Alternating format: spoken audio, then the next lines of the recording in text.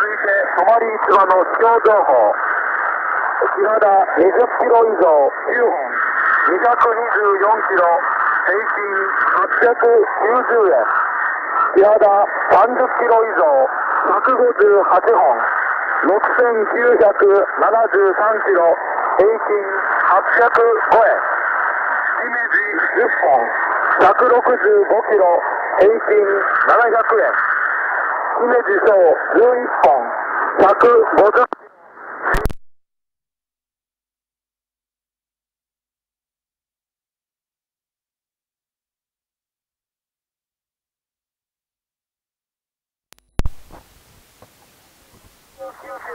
平均649円。トンボ20キロ以上6本。135キロ平均666円。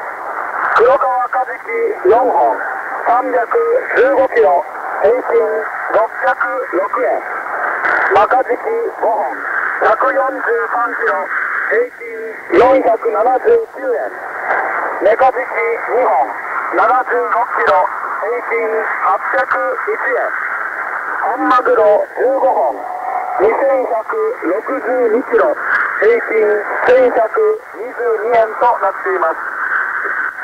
続いて水揚げ船情報海星丸1949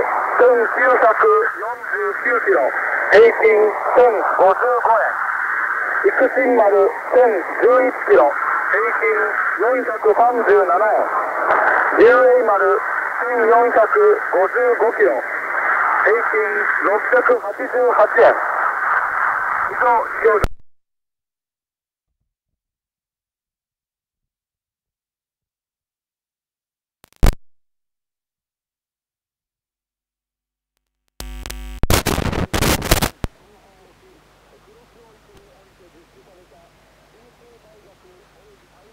国際共同観測の際に V の回数に失敗したとの情報が入っています。V の特徴は黄色色浮き玉が連結された形状でチェーンが連なっているとのこと。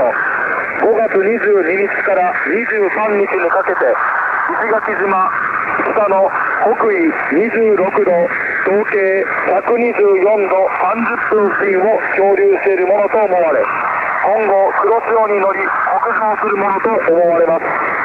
周辺水域で操業または走行中の皆様におかれましては最新の注意を払われますよ。うよろしくお願いいたします。以上沖縄県水産課から漂流物に関するお知らせでした。続いて臨検情報。5月20日10時22分頃高知船籍の船舶が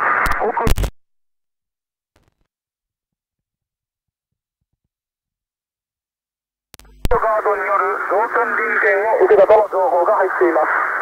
周線 VHF16 チャンネル 2182kHz を巡視し、投手し、巡視事項を守り、注意してください。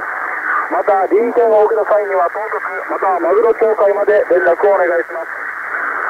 続いても臨検情報。当局所属船が5月16日16時10分から16時55分にかけてパラオ水域内の北緯丸9度丸6分合計133度23分の位置でパラオコーストガードに臨検を受けたとの情報が入っています VHF16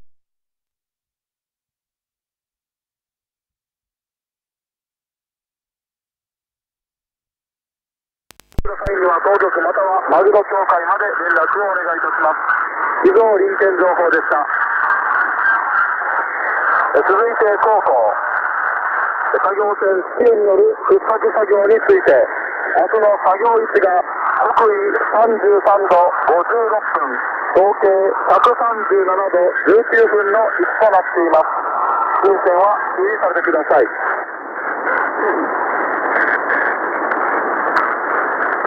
続いても広報捜査船熊本丸による捜査について本日正午の捜査位置が北緯27度10分合計125度丸5分の位置となっています。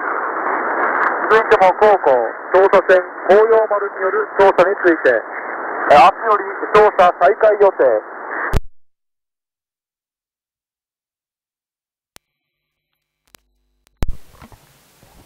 127度42分から127度45分により囲まれる区域となっています。続いてバヤオ発見情報について本日18時30分頃北緯26度丸3分統計127度0分付近で黄色色のパラオが発見されています。新航行船舶は注意されてください。以上でこの時間の放送を終わります。ただいまの放送担当は大浜でした。通報なし通報はありません。各線メッセージありましたらどうぞ。